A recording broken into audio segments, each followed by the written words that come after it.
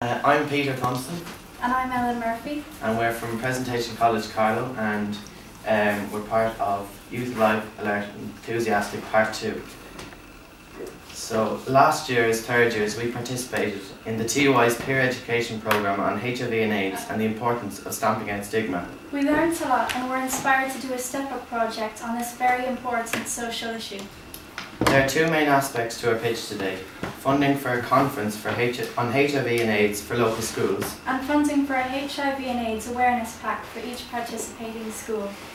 A survey conducted amongst third years in our school highlighted the lack of awareness and the need for public campaign on HIV and AIDS.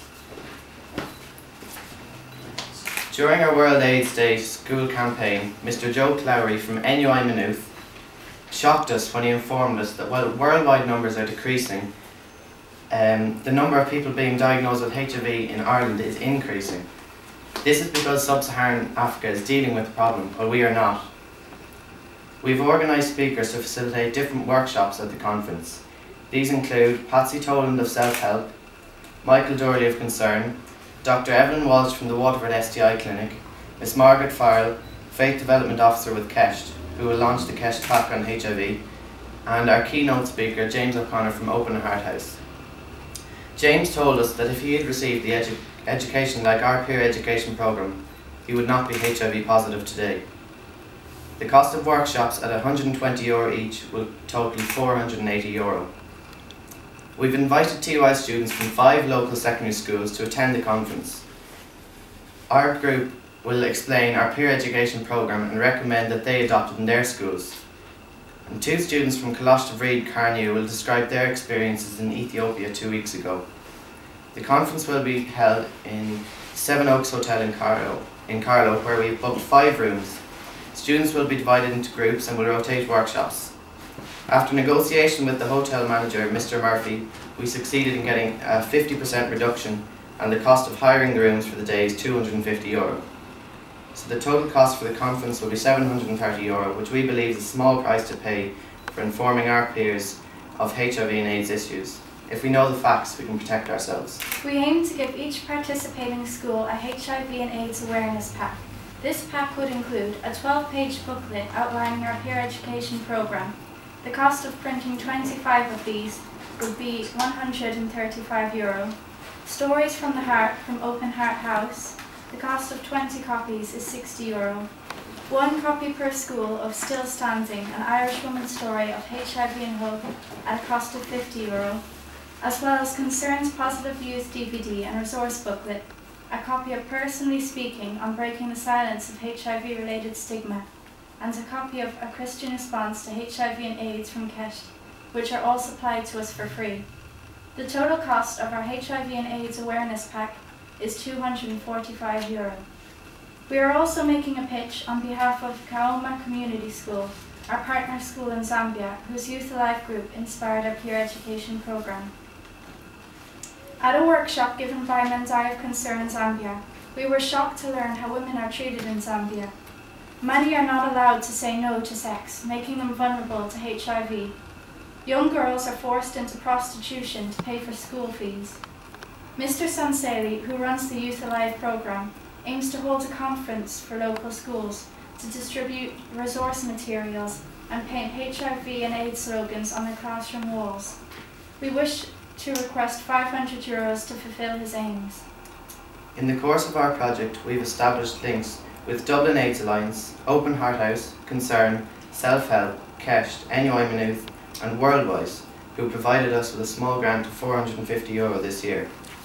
Like last year's Youth Alive Alert Enthusiastic YSI group, we want to put the late Kader Asmal's belief in the absence of a cure, education is a social vaccine, into practice. Thank you very much. The Thank time you. is up. Thank you. Here I cross. Uh, Hold on, guys. No. This, this, you want to print 25 of those, yes? Yes. Yeah. And you said that's going to cost? Um, Um, that's with these as well, the pack, the whole pack. The whole pack. Yeah, the costing of that this one booklet, plus that one? um, that wouldn't be in the pack. No. That one there is 25 of those booklets is 135 euro. That sounds Um, very, very high. Yeah. I can do that this evening for a tenner? Oh, Okay. No? Uh, I don't know, but. What? uh, I mean, certainly- you're not doing anything special, no hard book cover or whatever? That's the quote we have there. Yeah, that's fine. Based on the supply, maybe flat print.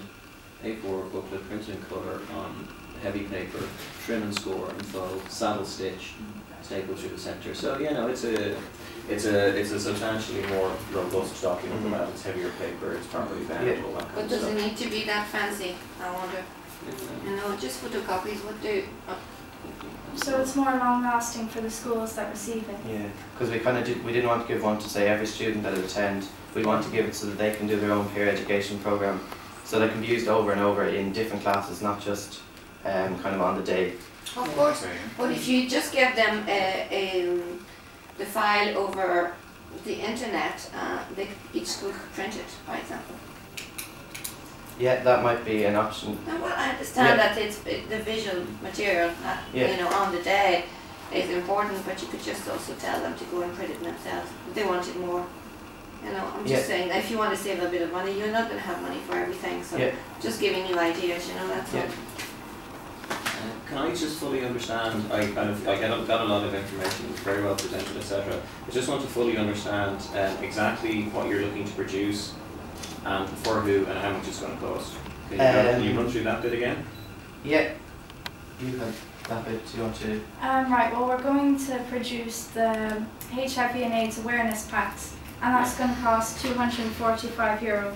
We'll be giving a couple to each school, and then we'll also be using some in our own schools. Okay, for how many, how many of those do you want to produce for 245 euros? Um, we had 25. 25? we had twenty of everything else, but the costing worked out that twenty or twenty-five of this booklet was the same. So, Okay, say we go for so there's 25 of those, that goes to school. So there's a HIV and AIDS pack, and what else is there? That's uh, that's that and that and There's also the cost of the conference in Yeah. St. Luke's.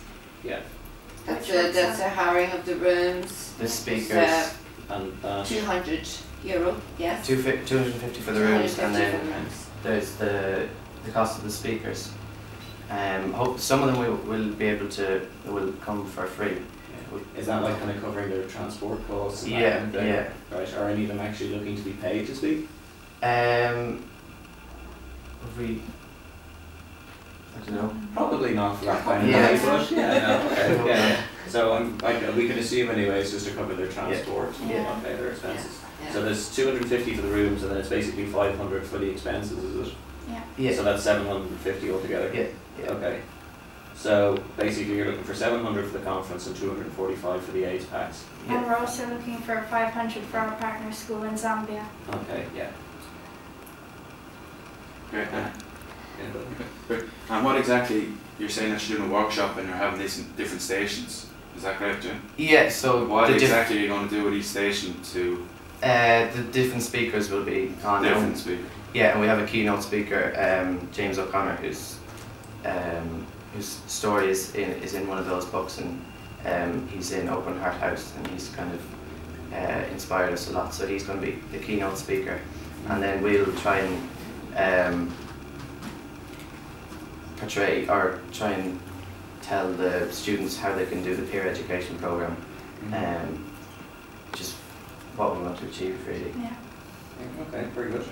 And um, how many, have you invited different schools, is it? Uh, or which yeah. way are you doing it, or is it just your own school? No, there's five local schools.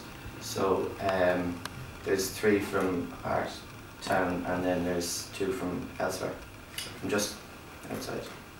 Thank you very much. Okay, Okay. Thank you Well very much. guys. Great Well done. pitch. Thank See you. you later. Welcome back. Thank.